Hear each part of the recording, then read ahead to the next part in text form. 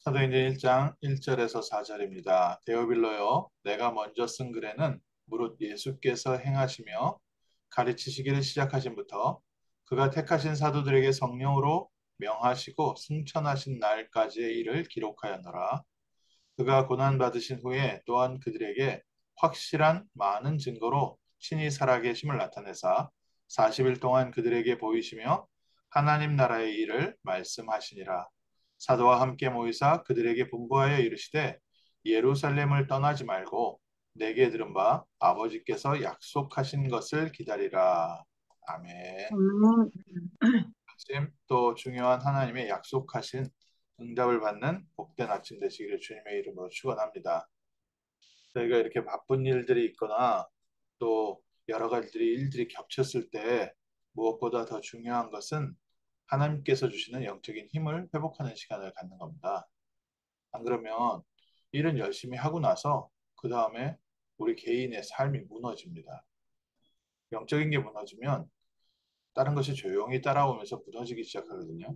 사람이 잘 모르죠. 건강했던 사람도 일을 계속 스트레스 받으면서 하면요. 건강하기 때문에 그냥 건강해서 하는 줄 아는데 어느 날 보면요. 조용히 온몸의 모든 균형이 다 무너져 있습니다. 그래서 건강하게 막 일하던 사람이 갑자기 쓰러져서 병원에서 갔는데 회복 불가능한 상태 그런 상태의 경우 것들을 저희가 종종 보지요. 영적인 것도 그보다 더 중요합니다. 우리에게 중요한 응답이 또 있을 때, 또 우리에게 여러 가지 사건이 많아질 때, 저희는 평상시 신앙 가지고 대처하기가 쉽습니다. 또 평상시 내가 누렸던 영적인 힘 가지고 살기 쉬운데, 그럴 때일수록 더 영적인 힘을 얻는 특별한 은혜가 따로 있어야 됩니다. 왜냐하면 중요한 사건, 또 중요한 응답은 그 사건과 응답을 끝나는 것이 아니라요. 그 뒤에 하나님의 진짜 계획들이 보여지기 시작합니다. 출애굽은 하나님께서 주신 중요한 구원의 사건인데 홍해 사건 이후가 더 중요했습니다. 홍해를 건넌 이후에 성막을 만들고 하나님은 이스라엘에게 참 이스라엘을 부르신 목적 예배 회복하게 하셨습니다. 그리고 또 가나안 땅 가게 하셨죠. 그런데 이스라엘 백성들이 홍해의 기쁨도 잔시고요. 그 뒤에 물이 없다, 먹을 게 없다, 환경이 어렵다. 계속 그 문제에 빠져 있었습니다. 왜 그러냐면요. 영적인 힘을 놓치면 그렇게 됩니다. 우리에게도 중요한 응답도 있고요. 축복도 있고 하나님의 역사를 보고서 감사함도 있고 때로는 큰 문제 때문에 낙심하기도 해요. 그런데 그 모든 사건들 속에서 그리스도께서는 우리와 함께하고 계십니다. 성삼위 하나님이 우리와 함께하심을 누릴 때 사건 뒤에 숨어 있는 하나님의 계획이 보입니다. 또 사건을 통해서 이루어 가시는 하나님의 역사를 보게 됩니다. 그게 보여야 저희가 성령 인도를 받지요. 이스라엘 백성들에게 보인 건 뭡니까? 애굽에서 출애굽해서요. 광야길을 갈 때 이스라엘들 백성들 보통 대다수의 백성들은 주변 환경의 광야길을 받습니다. 뜨거운 태양을 받고요. 살기 힘든 또 이 날마다 텐트를 열었다 폈다 하면서 그 왔다 갔다 하는 그 어려운 광야 길이 보였습니다. 그런데 여호수아와 갈렙에게 뭐가 보였습니까? 언약을 성취하고 계시는 하나님의 능력의 역사가 보였습니다. 모세에게 뭐가 보였습니까? 모세에게는 이스라엘과 함께 하시는 하나님의 능력이 보였습니다. 그래서 이스라엘 백성들이 불신앙하고 또 이스라엘 백성들이 좌절할 때 모세는 하나님께서 주시는 언약의 말씀을 선포했습니다. 불기둥과 구름기둥이 눈에 보이게도 함께 있는데도 이스라엘 백성들은 환경만 봤거든요. 영적인 힘 있는 시간, 기도하는 사람의 특징입니다. 오늘 우리에게 하나님께서 함께하고 계시고 우리의 삶을 인도하고 계십니다. 그래서 이스라엘 백성들에게 이거 잊지 말라고 하나님께서는 세절기를 주셨거든요. 6월절에 어린 양의 피 바른 날 저희가 빠져나왔다. 6월절 지켜라. 또 광야길 가는데 하나님께서 보리를 거두게 하신 게 아니냐? 오순절 지켜라.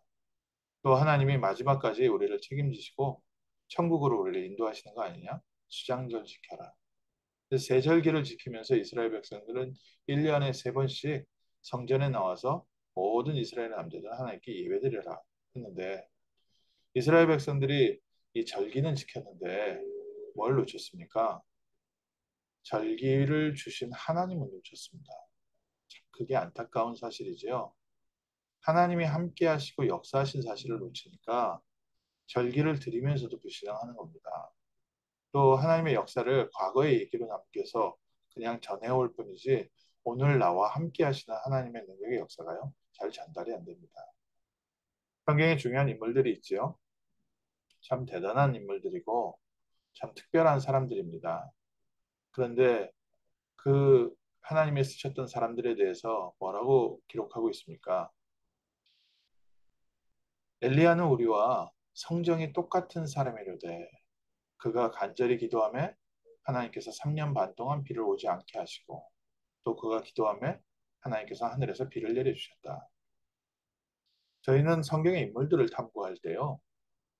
그 사람의 성품이 어떤지, 그 사람의 믿음이 어떤지, 그 사람이 어떻게 어, 신앙생활을 했는지 그걸 보고 연구를 하고 배우려고 합니다.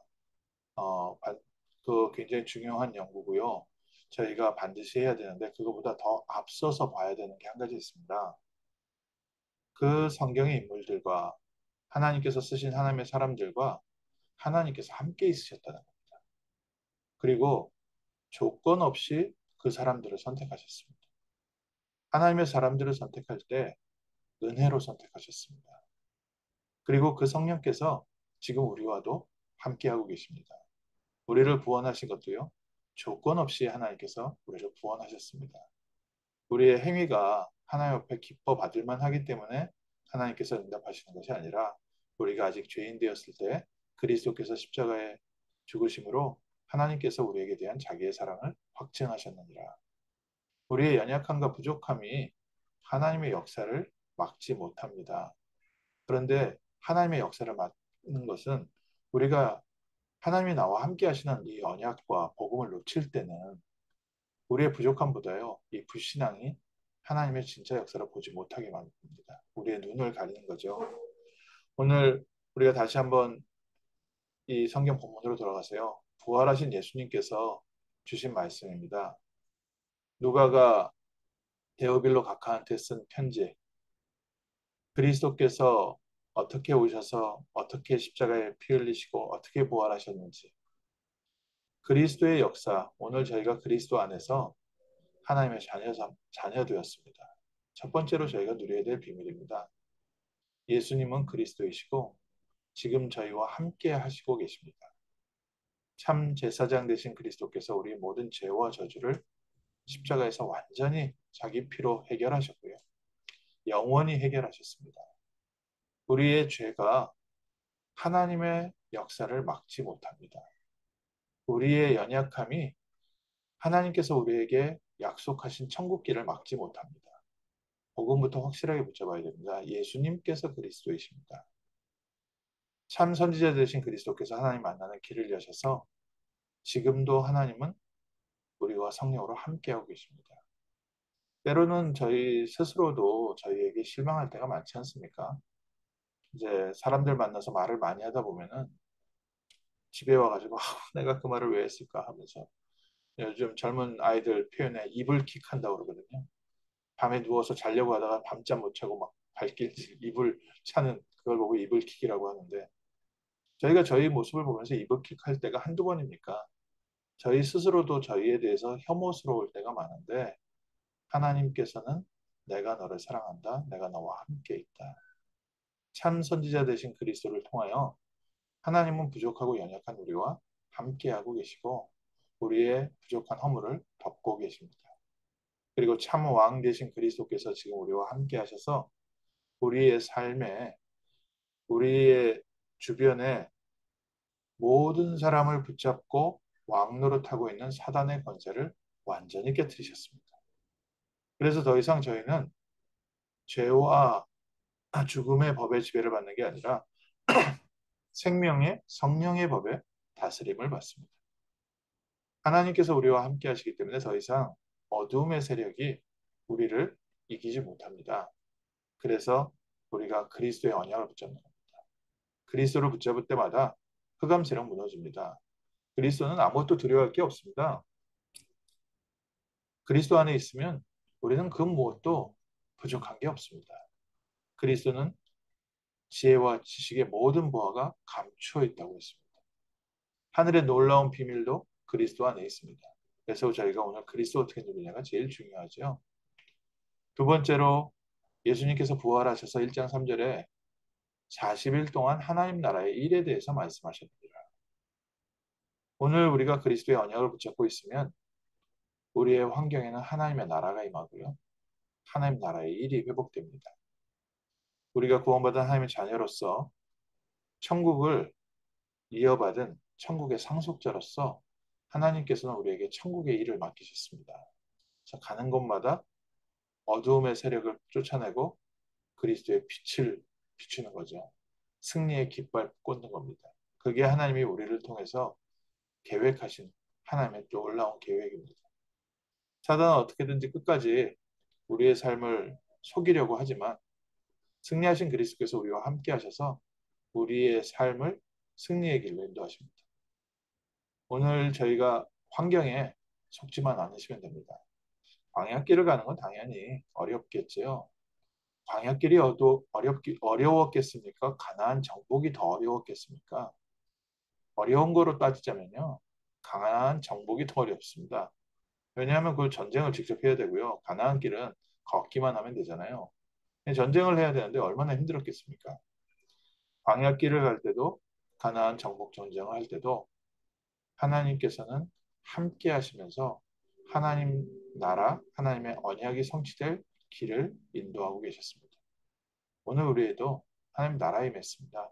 오늘 하루 종일 우리가 가는 곳마다 하나님의 나라에 임하게 하옵소서. 그 축복이 우리에게 있습니다. 얼마나 감사합니까? 미국 대사관이 있는 곳은 그 대사관 안은 미국이라서 함부로 건드리지 못하지 않습니까? 오늘 우리가 가는 곳은 천국의 대사관이라서 아무도 함부로 건드리지 못합니다. 사단이 속이려고 하지만 우리가 있는 집, 우리가 가는 직장 현장, 우리가 만나는 사람, 우리가 가는 모든 현장에는 하나님의 나라가 임하고 하늘 군대가 동원되어져서 사단이 함부로 하지 못합니다. 와서 치근덕거리고 우리를 속일 뿐이에요. 어쩔 수 없으니까 사단이 우리를 속이는데 그 속임수마저도 합력하여 선을 이루게 될 것이다. 완전한 승리 붙잡으십시오. 이미 그리스도 안에서 완전히 승리했습니다. 세 번째로요. 아버지의 약속하신 것을 기다려라. 뭘 기다릴까요? 사도행전 1장 8절에 오직 성령이 너에게 마시면 너희가 권능을 받고 땅 끝까지 이르러 내 증인 될 것이다. 하나님께서는 오늘도 우리에게 똑같이 말씀하십니다. 이 아침에 아버지의 약속하신 성령의 충만함을 받아라. 이 아침에 하나님께서 함께 하시는 은혜를 누려라. 이때 우리의 가는 모든 발걸음에 우리는 증인될 줄 믿습니다. 이게 우리의 정체성입니다. 하나님의 자녀. 하나님이 아브라함을 부르시고 이름을 아브람에서 아브라함으로 바꿔주셨습니다. 그러면서 하신 말씀이 너희 집안의 모든 남자들은 할례를 행하라. 하나님께서 선택한 하나님 백성이라는 표식을 내 몸에 남겨라.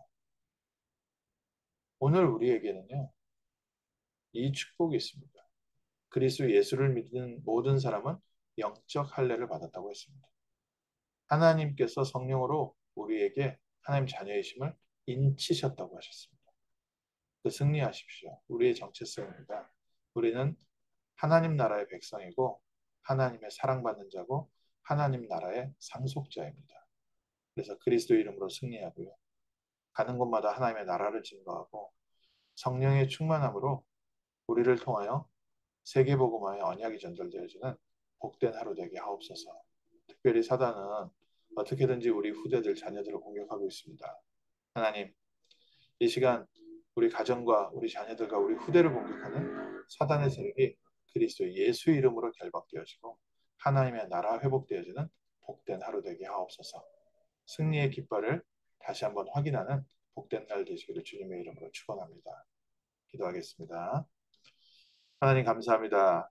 저희를 그리스도 안에서 하나님의 자녀 삼아 주시고 하나님의 나라를 누리며 성령 충만함을 가지고 우리에게 맡긴 이 복된 현장을 살리는 증인 되게 하심을 감사합니다. 우리 주변에 하나님이 맡기신 수많은 영혼들에게 그리스도의 빛을 그리스도의 복음을 전할 수 있게 하심을 감사합니다. 오늘 아침 또 하나님께서 주시는 새 힘을 얻게 하시고 하나님이 함께 하심을 바라보며 하나님의 역사 속에 인도받는 복된 하루 되게 하시고 우리에게 주신 이 은혜와 이 응답이 우리 자녀들에게 전달되게 하옵소서 우리 주변에게 전달되게 하옵소서 하나님 세계복음화에 중요한 제자들이 세워지게 하시고 하나님 모든 현장에 전도의 문 우리가 가는 곳마다 제자의 문 열리는 귀한 하루 되게 하옵소서 주 예수 그리스도 이름으로 기도합니다. 아멘